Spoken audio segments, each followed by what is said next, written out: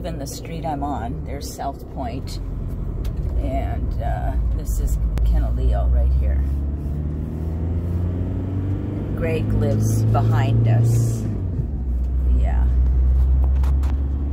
And then up here on the right,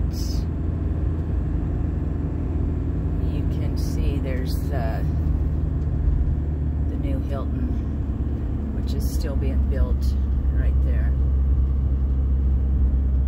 Still being built down this little road. I'll just go down this way. And I'm gonna head up to the inspection.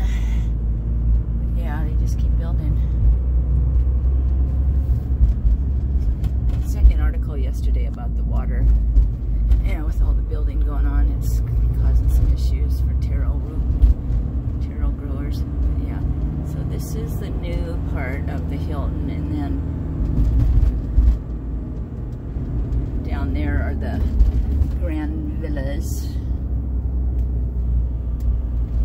South Kihei Road is the next road down. Um, right, right down there. That's, there's the ocean down there. Okay.